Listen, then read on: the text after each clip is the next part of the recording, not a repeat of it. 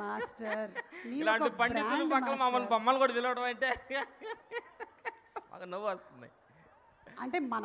మనందరం పండితులకి పామరులకి అందరికీ అర్థమయ్యేలాగా మనం మాట్లాడతాం కాబట్టి సరే మాట్లాడదాం.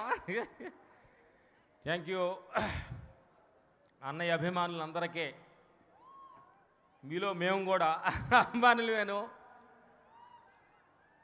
ఫస్ట్ ఫస్ట్ సినిమా అంటూ చూస్తే అన్నయ్య సినిమాతోటే మా సినిమా చూడటం స్టార్ట్ చేయింది మా లైఫే ఈ సినిమాలో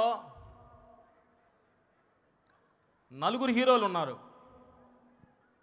ఇదేంటి అన్నయ్య కదా రామ్ చరణ్ కదా అనుకుంటున్నారు మీరు ఒక ఫస్ట్ గొప్ప హీరో ఆచార్య ధర్మం అనే గొప్ప హీరో ఉంది ఈ సినిమాలో. అన్నయ్య సినిమాలు ఎన్ని సినిమాలు మీరు చూసినా కానీ ఈ సినిమాలో ధర్మం అనే ఒక గొప్ప బుద్ధ బుద్ధ భగవాన్ చెప్పిన ధర్మో ధర్మాచరణం గచ్చామి అనే ఒక ఒక గొప్ప వర్డ్ని కొరడల శివ గారు ధర్మంగా ఈ సినిమాలో గొప్ప వర్డ్ని పెట్టేదాన్ని ఈ సినిమాకి ఎంతో అద్భుతంగా ధర్మం అనేది ధర్మస్థలి ధర్మం అనేది మమ్మల్ని ప్రతిరోజు కూడా ఆ మాట మమ్మల్ని ఈ సినిమాలు వర్క్ చేస్తున్నప్పుడు ప్రతి క్షణం ఆ ధర్మాన్ని పాటించుకుంటూ మనం వెళ్తూ ఉంటే మన జీవితం ఎక్కడ ఓడిపోయేది లేదని సత్యాన్ని మేము తెలుసుకోవడం జరిగింది.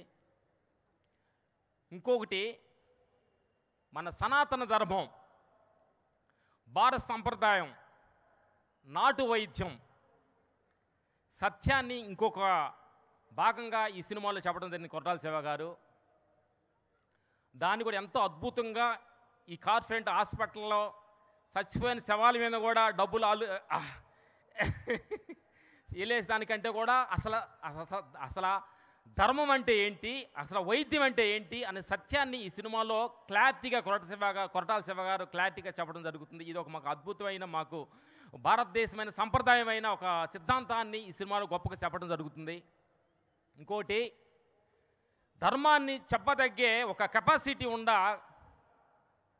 అన్నయ్య మనందరికీ సినిమా ఇండస్ట్రీకి కళామ తల్లికి మనందరికీ అన్నయ్యగా నుంచున్న అన్నయ్య నోటి ద్వారా ఈ ధర్మాన్ని చెబితే ఎంత అందంగా ఉంటుందనేది ఈ సినిమా ద్వారా మనం చూడబోతున్నాం.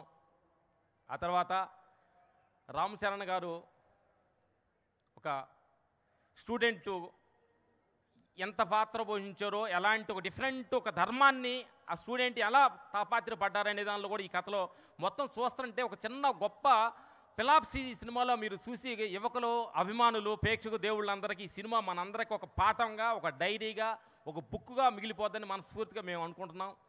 మాకు ఈ సినిమాలో అవకాశం ఇచ్చిన కొరట శివ గారికి మనస్ఫూర్తిగా చెబుతూ టెక్నీషియన్స్ గురించి ఒకటే ఒకటి మేము చెప్పాలి.